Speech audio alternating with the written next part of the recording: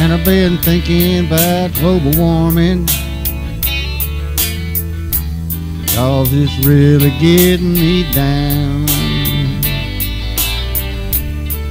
Still trying to figure out Is it as bad as it sounds? Don't know who to listen to Cause no one can agree Is it real or is it fake news? Everybody's got an opinion on TV. Watch the news, they're on CNN.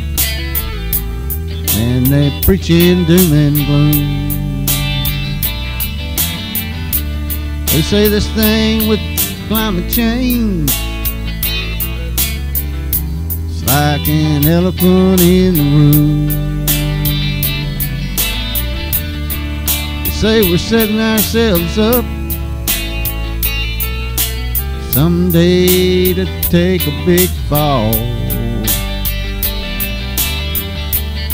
They say a hundred years from now,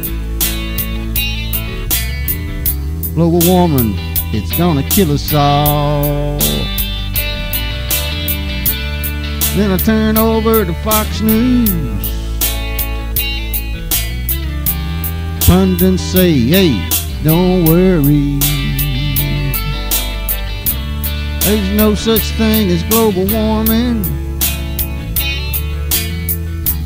Just fake news as anyone can see. Got a long, long line of experts.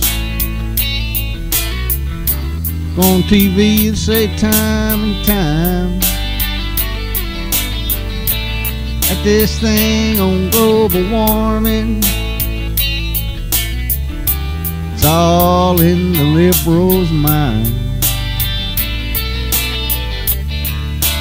Finally they had a world summit All the scientists gathered in Gay Paris to decide once and for all was climate change gonna kill society? Everyone there agreed and signed a paper saying global warming will seal our fate. Something isn't done today Tomorrow's gonna be too late. President Trump, he brushed it off. Didn't believe the experts, didn't know. He tells us that global warming, well, it ain't as bad as people say so. Cause it all fake news. Says don't listen to what the scientists say. Said if you don't believe it,